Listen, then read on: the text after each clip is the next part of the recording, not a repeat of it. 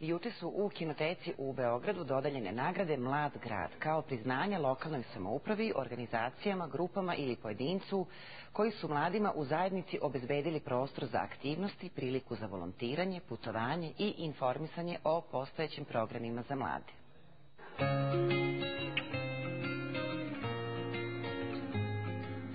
Ulaganje u mlade umesto u istraživanje o tome koliko ih napusti Srbiju u potrazi za boljom budućnošću, cilje i ideje od koje su građanske inicijative krenule 2010. godine, kad je ustanovljena nagrada Mlad grada koja se udeljuje svake godine u nekoliko kategorija mi smo stavili da damo neki svoj doprinos, da se neke lokalne priče, odnosno da ono što lokalne samouprave, pojedino udruženje ili pojedinci rade za mlade, da se to stavi u, u prvi plan i da se pohvale na Međunarodni dan mladih.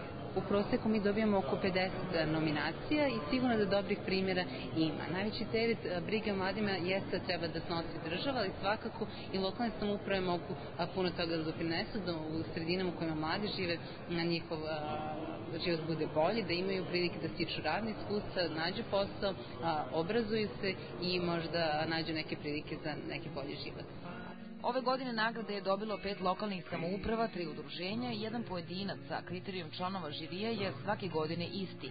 Koliko se uradilo i doprinalo na polju poboljšanja položaja mladih. Kad mladi rade nešto za sebe u svojoj zajednici, oni rade i za celu tu zajednicu, jer uspostavljaju neke nove prakse i nove načine ponašanja i pomažu svojim sugrađanima da naravno naprede život u lokalnoj zajednici osjeća se razlika između kvaliteta života onih mladih koji imaju kancelariju za mlade i koji mogu da se obrate, jer u kancelariju idu i brojno udruženja mladih i za mlade, i onih gradova i opština koje nemaju kancelariju za mladi prosto nemaju te mogućnosti.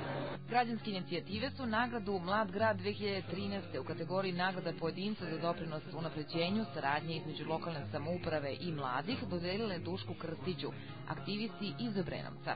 Mi smo napravili neke pomake, ali svakako nismo tih 15.000 mladih ljudi u Obrenovcu koliko ih ima dosegnuli. I negde naš osnovni cilj jeste da motivišemo mlade da na vreme preuzmu odgovornost, odgovornost za sobstvenu budućnost i da stvari radi zbog sebe, ne znam, zbog opštine, ni zbog, ne znam, ove zemlje, već zbog sebe i da to bude jedini motiv.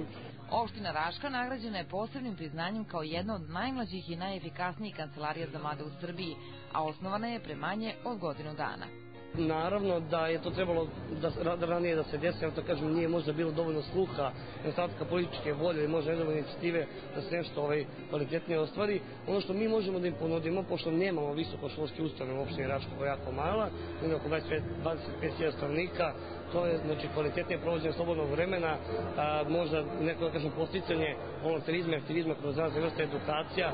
Sve više imamo i sporazum sa mladim istraživačima Srbije pa možemo da im nudimo putovanja, Svi nagrađeni slažu se u jednom. Nagrada je dokaz da u svojoj nameri uspevaju, a ujedno su i primjer ostalima da po istom principu postupe. Trenutno u našoj zemlji postoji 141 kancelarija za mlade. Bez obzira na veličinu zajednice ili budžeta kojim raspolažu, svi oni daju značajan doprinos razvoju mladih u Srbiji.